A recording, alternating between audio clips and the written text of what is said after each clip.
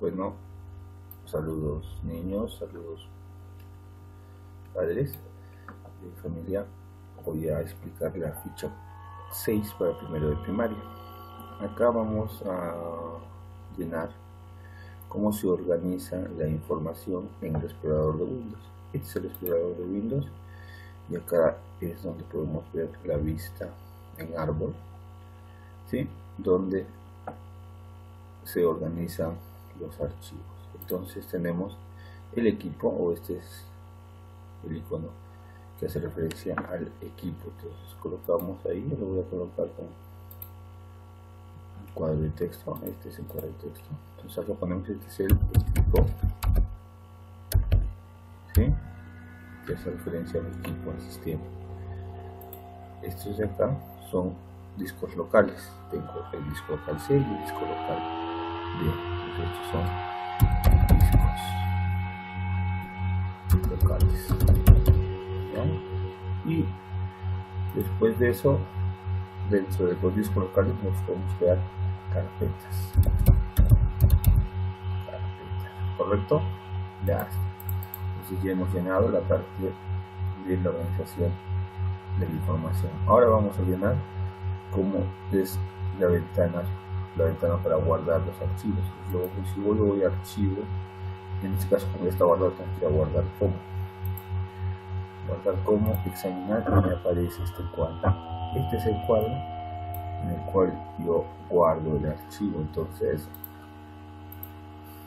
tienen que completar.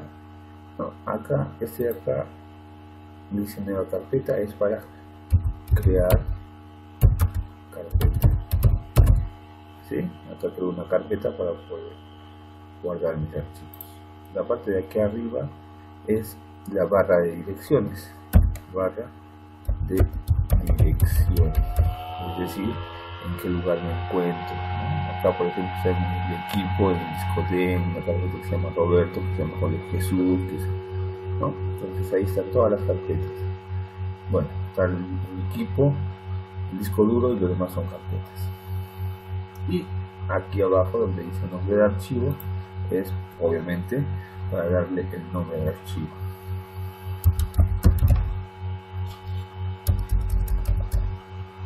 Acá es para darle nombre de archivo. Nombre de archivo. Ya está. Y eso es el de la práctica.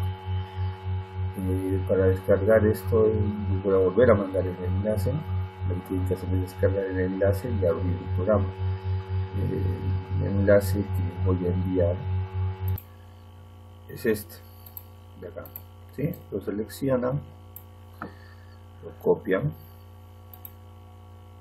copiar vienen al explorador va a funcionar solo en la computadora lo acá pegar, control V, pegado, enter. Me va a cargar la página del drive para descargarme. Entonces acá me dice que descargue. Entonces hago clic en descargar y va a descargar el archivo que es un ejecutable. ¿eh? Acá lo ha descargado. Sobre yo cuando lo descargo